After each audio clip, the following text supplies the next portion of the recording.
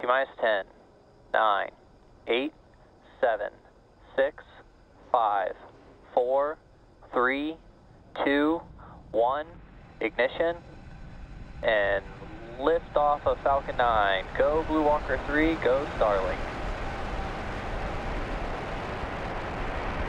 Vehicle is pitching downrange. Stage 1 propulsion is nominal.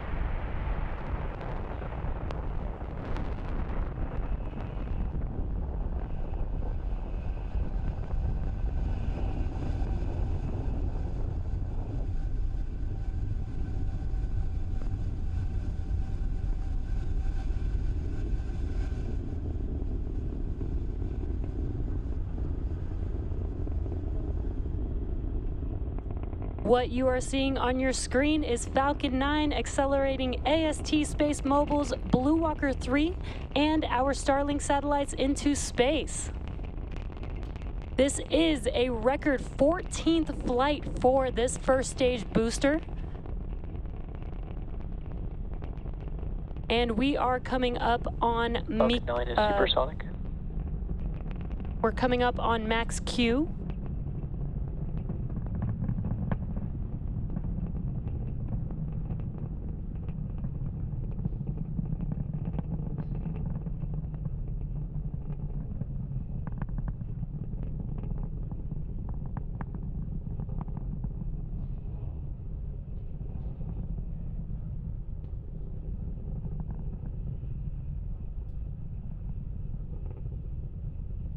Now we are just about a minute. engine chill has started.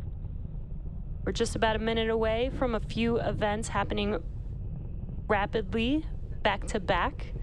That will be MECO, or main engine cutoff, followed by stage separation, SES 1, and fairing deploy.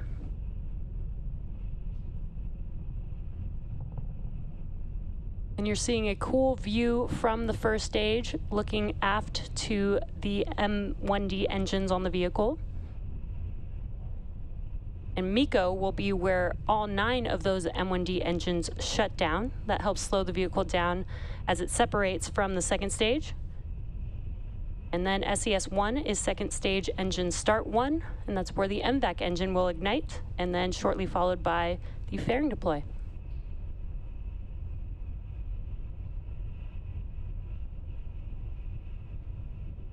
Main engine cutoff.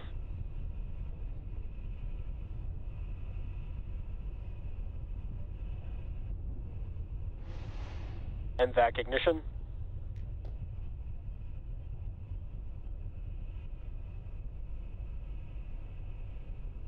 There we had MECO stage separation. On your right-hand screen, you could see the MVAC engine igniting, separation confirmed. and we Both heard vehicles are on nominal trajectories. We heard a confirmation of fairing deploy. That marks the fifth flight for one of the fairing halves and the fourth flight for the other fairing half, and we will attempt to recover both fairing halves again to use on a future launch.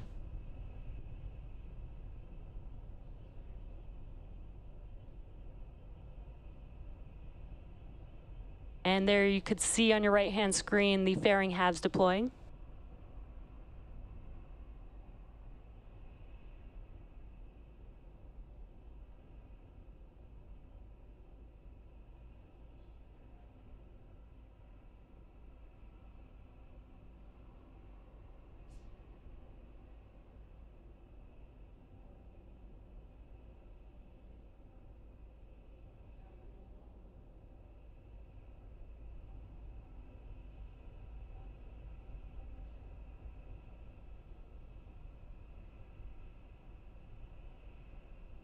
What you're seeing on your screen is a view from the second stage looking at our MVAC engine.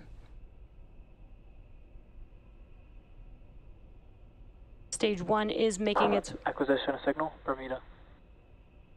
Stage one is making its way back down to Earth, and today's mission marks SpaceX's 179th overall launch.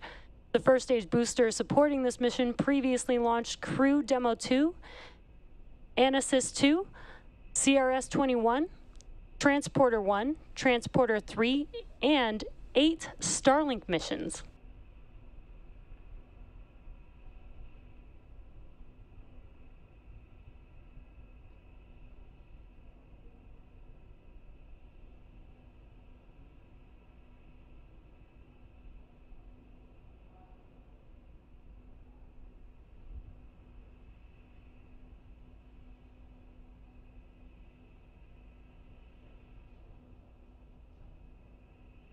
While stage one is making its way back down to Earth, in just under a minute from now will be the next burn for the vehicle.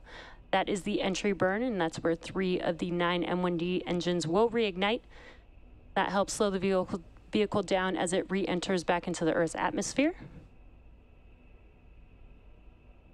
And just about a minute and a half after the entry burn will be the landing burn for the first stage. The landing burn only needs a single engine to help slow the vehicle down as it attempts to touch down. Today will be on our drone ship a sh Shortfall of Gravitas.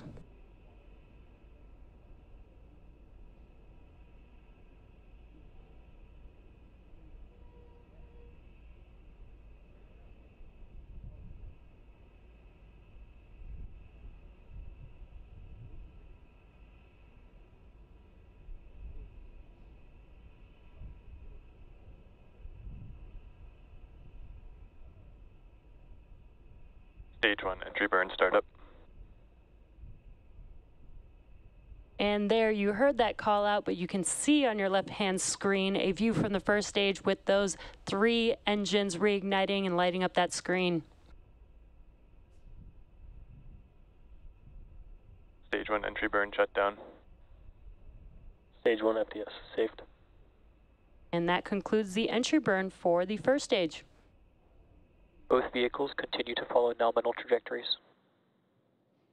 And good call outs there. Both first stage one and stage two are on nominal trajectories.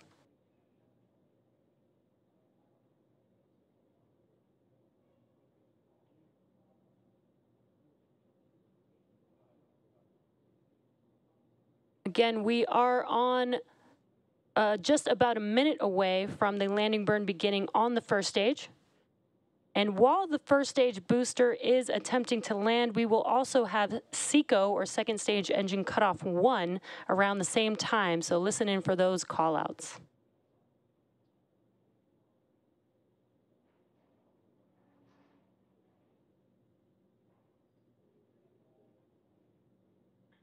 Stage one, transonic.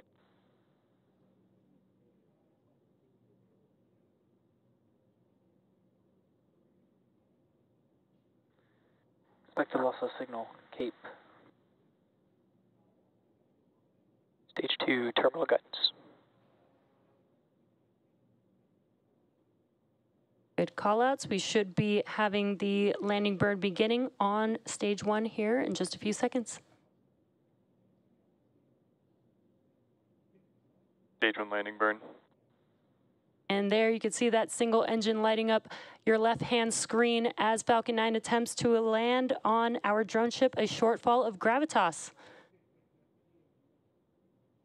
Landing leg deploy.